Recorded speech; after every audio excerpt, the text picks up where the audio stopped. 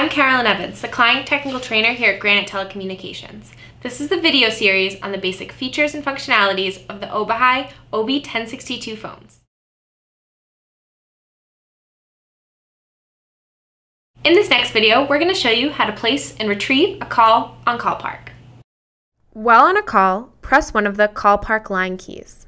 Please note that only one Call Park can be used at a time. This will place the active call into the call park orbit. The line indicator key next to the call park button will blink red. This call can be retrieved on all phones in the call park orbit. On all phones in the call park orbit, the line key will blink red as well.